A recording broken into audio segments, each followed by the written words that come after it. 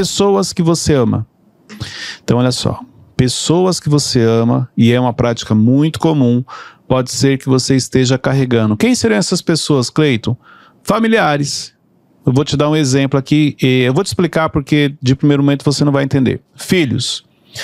Você carrega filhos, vamos, então simplificar para você ou quando eu falo carregar e o que é o carregar filhos. O filho quando nasce, você carrega ele no colo. Aí reparem que em determinado momento ele começa a engatinhar, daqui a pouco ele começa a dar os primeiros passos e daqui a pouco ele começa a andar. Você, depois de um certo tamanho, de uma certa idade, você não carrega mais ele no colo, porque ele aprendeu a andar sozinho. Isso você tem que trazer também para a vida. O seu filho, em até uma determinada situação, você vai carregar ele, porque ele ainda não vai saber andar sozinho. Mas chega uma hora que ele precisa aprender a andar sozinho. Então, é, é o fato de você ficar carregando o seu filho não quer dizer que você está ajudando ele. Não quer dizer que você está direcionando da maneira certa, Isso porque é ele precisa aprender a caminhar sozinho. Mas é muito comum é, nessa questão. Eu falo porque eu tenho dois filhos e eu me policio muito nesse sentido. Tem situações que eu quero carregar eles, mas eu não posso porque eu não vou estar ajudando eles. Eu preciso ensinar eles a caminhar sozinho. Ensinar, é, quando eu falo para você não carregar, não é para você virar as costas, ah, então meu filho, cada um que lute se vire, não é isso não. Mas tem que ter esse cuidado, porque é muito comum, pessoas que você ama, o primeiro intuito, a primeira vontade que você tem, vou carregar, não vou deixar ele passar por isso, não vou deixar ele nessa situação. Não, ele precisa aprender a caminhar sozinho. E de repente, como que o, os pais eles têm uma percepção de que cai a ficha deles, de que realmente eles estão atrapalhando às vezes o processo do filho? A maioria atrapalha, no, no, sentido de não ensinar da maneira certa. O que, que o ensinar? O ensinar não é você virar as costas e falar, ó, se vira. Mas o ensinar é através de uma boa conversa. Então eu vou dar um exemplo. De repente, seu filho, ele tá. É, um, vou te dar um exemplo. Ele quer comprar um carro. Aí você olha e fala assim: Poxa, mas meu filho merece um carro, ele trabalha. Ele é dedicado, ele sai cedo de casa, ele não gasta dinheiro à toa, ele merece um carro. Mas vamos supor, ele ganha, exemplo, dois mil reais. E ele quer um carro que a parcela vai ficar mil e reais. Não tem condições. E aí o que, que você faz? Você vai lá e fala, não, eu vou pagar mil e quinhentos e você paga só trezentos. Não, porque ele merece. Sim, ele merece. Se você puder ajudar e ele realmente tem essa é, mentalidade é, madura, ele não gasta para poder conquistar aquilo, vale a pena. Mas se você está fazendo algo que você não está ajudando, você está carregando, porque você não, tá, não vai estar tá ensinando para ele. Entendeu? Até quando você vai estar tá carregando ele? Até quando você vai estar tá resolvendo problemas dele?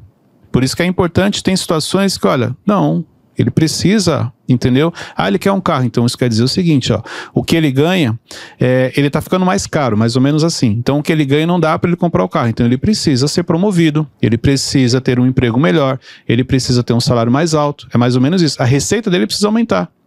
Quando você pega e começa a pagar é, algumas coisas para ele, você não está ajudando ele.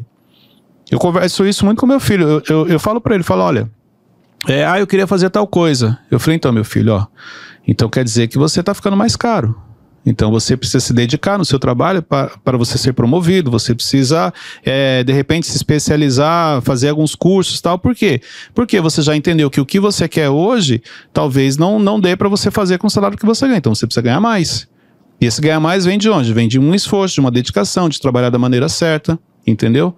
Eu, se eu não vou ajudar ele, se eu chegar e falar assim: ah, o que, que você quer? Você quer tal coisa? Está aqui, ó. Pronto, o pai comprou. Não, não vou ajudar. Eu preciso ensinar ele a caminhar. Entendeu? Então é nesse sentido que eu falo que você tem que ter esse cuidado. Como que os pais sabem? Faz a leitura. Isso aqui realmente eu estou ajudando meu filho ou eu estou colocando ele numa zona de conforto? Isso aqui realmente eu estou ensinando meu filho a caminhar, eu estou carregando ele e ele nunca está preocupado com algumas coisas porque eu sempre cuido de tudo. Ah. Essa leitura dá para fazer. São coisas diferentes. Né? Exatamente, né? entendeu? Então, até onde eu realmente estou ajudando e até onde eu estou carregando ele e não estou permitindo que ele amadureça que ele aprenda com as experiências da vida. Então, isso aqui é interessante. Tem até uma frase que fala, né, que uma bênção, quando você não está preparado, ela pode se tornar uma maldição. Né? É, a bênção antecipada, ela se torna maldição. É bom, exemplo muito prático. Seu filho tem 14 anos, 15 anos, quer um carro. Você vai lá e compra. O carro, é. na vida dele, vai ser uma bênção. Desde que seja no momento que ele esteja habilitado, seja maior de idade. Entendeu? Hum. Então, assim, ele é habilitado, ele está habilitado para receber a bênção. Ok. Se você vai e compra antes, pode virar uma maldição, pode acontecer algo mais sério. Hum. Cleiton, tem uma dúvida. Como que eu sei qual que é o momento certo de falar? Não, agora você toca, você anda com as suas pernas aí. Talvez não tenha um momento certo de você cortar e você falar, agora se vira. Isso, é, isso tem que ser aos poucos. Tá. Entendeu? Isso Entendi. vem muito da criação, isso vem muito da maneira como você se relaciona com ele. Uhum. É, então, é, é, então, assim, tem, meu, eu, tenho, eu tenho meu filho mais velho é casado. E nem por isso eu viro as costas. Exemplo, tem situações que ele precisa, às vezes, de um conselho, ele precisa de algo. Entendeu?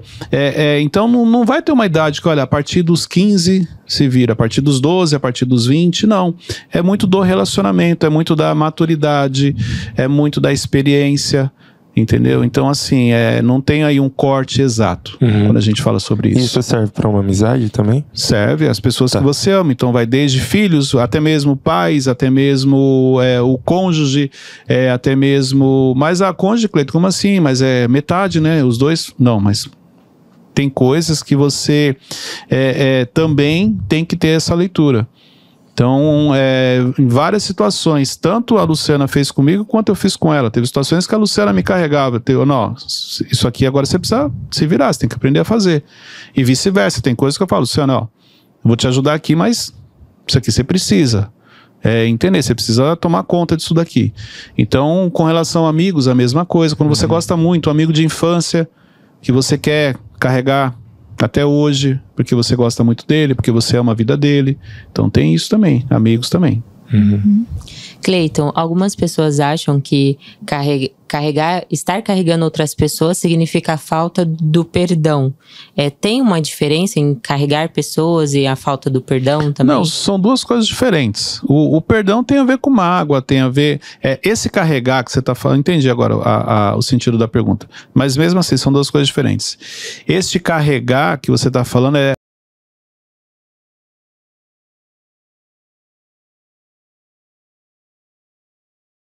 Ver as questões daquela pessoa, entendeu? Então é mais ou menos você está numa empresa, você vai para uma outra empresa, aí você quer trazer essa pessoa junto, ó, você está carregando ela, onde você vai, ela tem que estar com você. Você mudou de cidade, você tá levando essa pessoa junto, entendeu? Então é, é importante ter esse discernimento. Esse carregar que você trouxe do perdão é o negativo, é você com uma mágoa, com rancor, e tá carregando ele dentro de você. Que também é errado, que também te prejudica, que também desacelera você na, no, no seu avanço, porque você fica a todo momento lembrando aquela pessoa e aquilo vai te fazendo mal. Mas é um entendeu? outro vídeo aí. É, aí é, um- mas é um outro momento esse, esse carregar aí.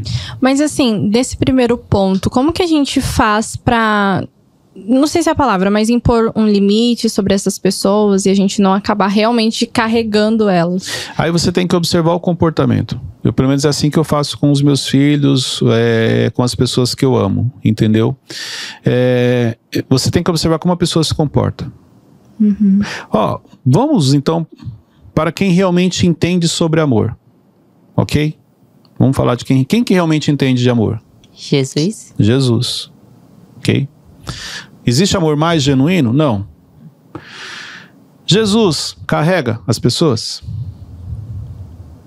Se você cometer um Caraca. erro, Jesus vai passar a mão na sua cabeça e fala assim: não, fique tranquilo. Ó, é diferente, não confunda as coisas. Cometi um erro, me arrependi. Não tô falando de arrependimento. Tô falando de passar a mão de. Não, imagina, não foi nada, não. O que, que é uma mentirinha? Para, vamos continuar. Isso aí é forte. Imagina, o que, que é uma traição? Continua, não tem problema nenhum. Não. E Jesus, porque ele ama, e se for necessário, ele vai repreender. A Bíblia fala até sobre castigar. Lá em, em Apocalipse tem, fala sobre isso. Então, olha só que interessante. Então, não é porque eu amo que eu vou ficar carregando. Nossa. Entendeu?